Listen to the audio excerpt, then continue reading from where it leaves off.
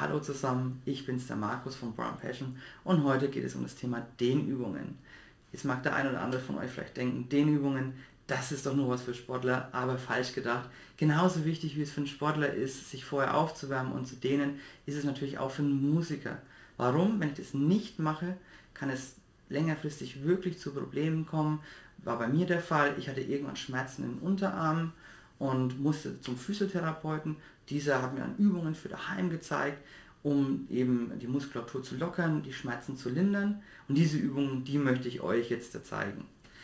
Ich bin natürlich kein Profi, äh, ich bin kein Physiotherapeut, also werde ich die Übungen euch wahrscheinlich nicht 100% korrekt zeigen, aber so bekommt ihr trotzdem ein Gespür dafür, wie ihr sie daheim machen könnt und äh, wie ihr sie richtig machen könnt.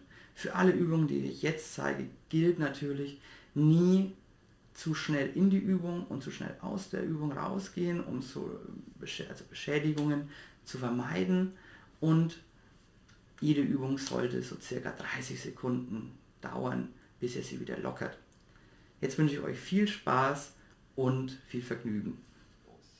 So, da bin ich wieder und ihr seht schon, ich habe ein bisschen was umgebaut. Mit der einen Kamera sieht man vielleicht, dass da hier ein Tisch steht, mit der anderen sieht man es vielleicht ein bisschen besser. Diesen Tisch brauchen wir eben, um unsere erste Übung zu machen. Der Tisch sollte ungefähr so hoch sein, dass ihr mit ausgestreckten Armen eure Hände ablegen könnt, ohne groß in die Hocke zu gehen oder euch auf die Zehenspitzen zu stellen. Das ist ganz wichtig. Und wofür ist diese erste Dehnübung gut? Wir wollen bei der ersten Dehnübung diese Unterarmpartie dehnen. Dazu macht ihr folgendes. Ihr nehmt eure Hände, dreht sie nach unten, sodass die Fingerspitzen nach unten zeigen, führt sie zusammen und legt sie vorsichtig auf dem Tisch ab. Dabei soll natürlich die, Hand, die Handgelenke nicht schmerzen. Wenn ihr das gemacht habt, am besten noch mit geradem Rücken, dann ist die Übung noch, so, noch viel besser. Geht ihr langsam mit dem Oberkörper nach hinten, ihr verschiebt quasi, geht mit eurem Po ein bisschen nach hinten, bis die Unterarme gedehnt werden. Also ihr spürt quasi dann, ich lasse mal wieder los, ihr spürt quasi dann hier eine Dehnung. Das macht ihr ca. 30 Sekunden. Das Ganze soll nicht überdehnt werden. Das heißt, ihr, bis, ihr geht so weit nach hinten, bis ihr die Dehnung wirklich gut spürt. Nicht zu weit und wie immer nicht abrupt in die Übung oder aus der Übung gehen. Jawohl.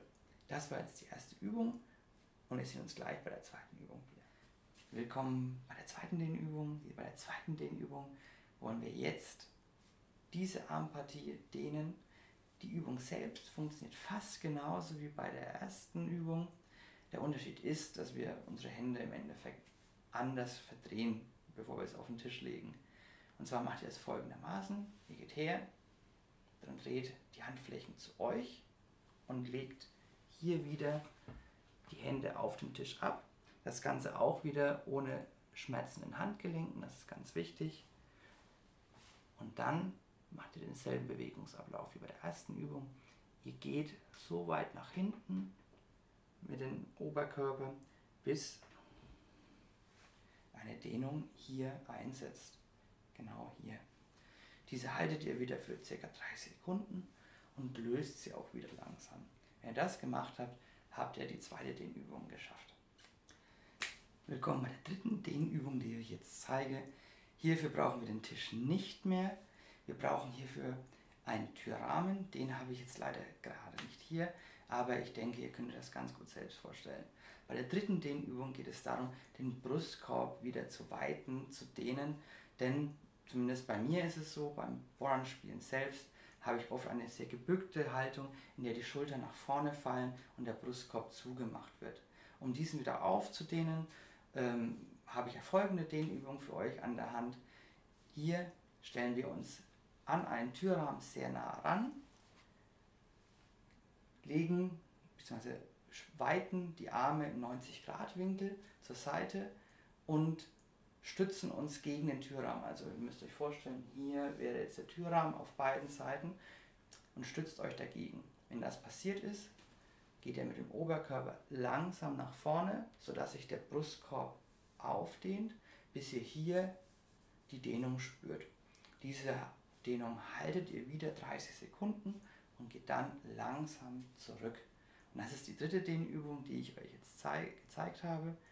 Und im Anschluss gibt es noch einen extra. So, wie versprochen, die Zugabe. Bei der Zugabe bräucht ihr weder Tisch noch Türrahmen, sondern nur euren Daumen. Mit diesem Daumen könnt ihr nämlich super den Unterarm massieren. Das Ganze kann schmerzhaft werden, aber mir wurde mehrmals versichert vom Physiotherapeuten, dass ihr hier nichts kaputt machen könnt und dass es eben gut ist für die Muskulatur und nicht schädigend. Also ihr braucht keine Angst haben, hier kann nichts passieren. Wie funktioniert das Ganze?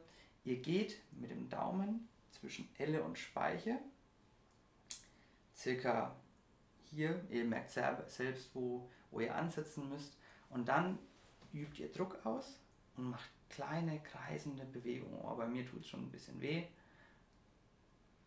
So, und das macht ihr den ganzen Unterarm hoch. Das heißt, ihr macht kleine Schritte mit euren Daumen und geht immer weiter hoch. Dadurch wird die Muskulatur eben hier gelockert und die Schmerzen bzw. die Verspannung sollte gelindert werden. Das ist super, wenn ihr abends Fernseher äh, seid und ein bisschen was guckt oder wenn ihr ein Buch lest. Das könnt ihr also immer nebenbei machen und bei beiden Unterarmen und mit der Zeit wird es auf jeden Fall besser. So, das waren jetzt meine Tipps und Tricks, wie ihr euch richtig dehnt, wie ihr ähm, massiert. So, das war's jetzt. Ähm, das waren die Dehnübungen und eben auch der Massagetrick. Wenn es euch gefallen hat, wenn ihr sagt, boah, das gefällt mir, was der Markus da erzählt, auch wenn es nicht ganz so professionell ist, dann lasst ein Like da, abonniert eben den Channel, das wäre super. Ähm, geht auf meine Facebook-Seite, auf Instagram und liked da, folgt mir und ich werde euch sehr dankbar, wenn es euch gefällt, wenn ihr es natürlich noch weiter erzählt an andere Boron-Spieler, an andere Musiker, eben wo ihr sagt, oh, das Instrument könnte dem doch gefallen. Bis dann, der Markus von Boron Passion. Tschüss.